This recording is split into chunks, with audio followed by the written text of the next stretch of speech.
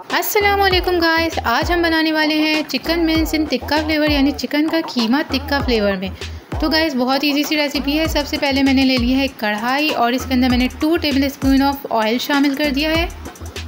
और ये मैंने एक बड़े साइज़ की प्याज, जिसको मैंने चॉप करके रखा था। फाइन चॉप मैंने नहीं किया, बस चॉप हल्का फुल्का सा। इसको भी मैं तेल के अंदर डालकर, और प्याज को हम कर लेंगे सौते। जब तक ट्रांसलूसेंट यानी पिंकिश पिंकिश सा कलर ना आ जाए, मैं इसको हाई फ्लेम पे भून रही हूँ प्याज को।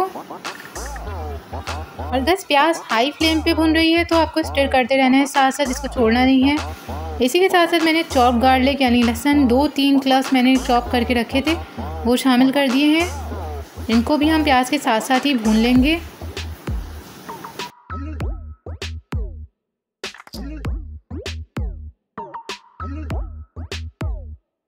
बस गाइस दो से तीन मिनट में ये प्याज बिल्कुल रेडी हो चुकी है ट्रांसलूसेंट हो चुकी है और बस गाइस अब हमने इसके साथ क्या करना है? ये चिकन का कीमा मैंने ले रखा है और ये है एक किलो।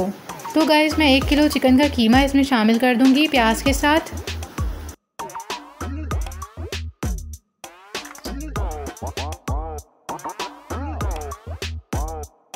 और गई चिकन मिर्च मैं इसमें शामिल कर रही हूँ और हल्के हाथ से मैंने इसको, अब थोड़ी मीडियम फ्लेम पे मैं इसको भूनूँगी।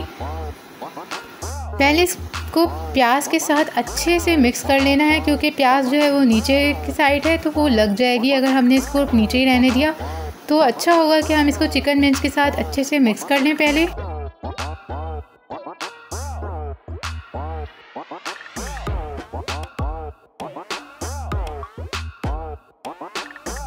और ये हमने लहसन, प्याज और चिकन के कीमे को सौते करना स्टार्ट कर दिया है। बहुत अच्छे से इसको मिक्स कर लिया और उसके साथ साथ हम सौते भी कर रहे हैं। मिक्स हर्ब्स ले लें या ऑरिगानो ले लें, वन टीस्पून इसमें शामिल कर दें। साथ साथ इसमें सॉल्ट शामिल कर दें, वन टीस्पून या फिर एज पर टेस्ट इसी के साथ साथ दखनी मिर्च लेके आप इसमें शामिल कर देंगे। यानी वाइट पेपर वन टीस्पून। या फिर आप कर सकते हैं एज पर टेस्ट इसको दखनी मिर्च को शामिल इसमें। ये बिल्कुल पाउडर फॉर्म में है। ब्लैक पेपर यानी पिसी काली मिर्च हम लेंगे वन टीस्पून या फिर एज पर टेस्ट मैंने इसमें वन टीस्पून शामिल किया है। और अब हम इसमें शामिल कर देंगे जो मैंने टोमेटो प्यूरी आधा कप मैंने बना के रखी थी हाफ़ कप मैं इसमें शामिल कर रही हूँ टोमेटो प्यूरी ये प्यूरी सिंपली मैंने ब्लेंड की है और इसमें मैंने कुछ एडिट नहीं किया है। अब इसको हम टमाटर के साथ साथ भूनेंगे चिकन को।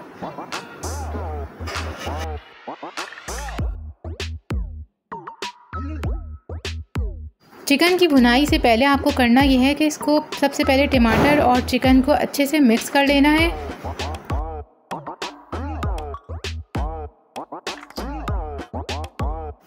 चिकन को हमें 10 मिनट के लिए भूनना है मीडियम फ्लेम पे। इतना भूनो कि गैस इसका पानी जो है वो खुश्क हो जाए। पानी जो है वो खुश्क होने लगा है। तो गाय अब मैं इसमें शामिल करने जा रही हूँ।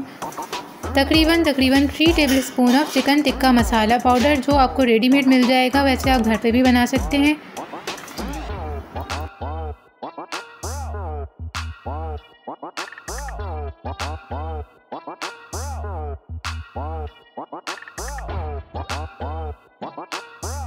टिक्का मसाला पाउडर शामिल करने के बाद आपको इसको तकरीबन हाई फ्लेम पे बिल्कुल इसको भूनना है और बहुत अच्छे से इतना भूनना है गाइस कि इसका पानी जो है बिल्कुल रिड्यूस हो जाए। और साथ साथ इसको चलाते भी रहो स्टर करते रहो, अच्छे से सौते होना चाहिए, ताकि मसाला जो हमने डाला है वो अच्छे से पूरे चिकन में शामिल हो जाए। कुछ लोग इसमें स्मोकी फ्लेवर देने के लिए धूनी भी इस्तेमाल करते हैं कोयले की, वो हम यूज़ नहीं कर रहे हैं। बस हमने चिकन टिक्का मसाला पाउडर डाला है और ये बहुत ही आसान तरीके से हमारा चिकन टिक्का मसाला बिल्कुल रेडी होने वाला है और इसका पानी जो है हाई फ्लेम पे पकेगा तो बिल्कुल जल्दी से खुश्क होगा।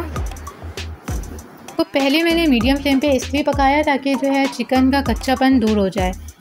अगर मैं डायरेक्ट हाई फ्लेम पे पकाती तो पानी तो बहुत जल्दी खुश्क हो जाता, लेकिन जो है चिकन का जो कच्चापन है वो दूर नहीं होता। गाइस ये देखें। Chicken keema in tikka flavour is ready guys Thanks for watching guys and please don't forget to like, share and subscribe my channel.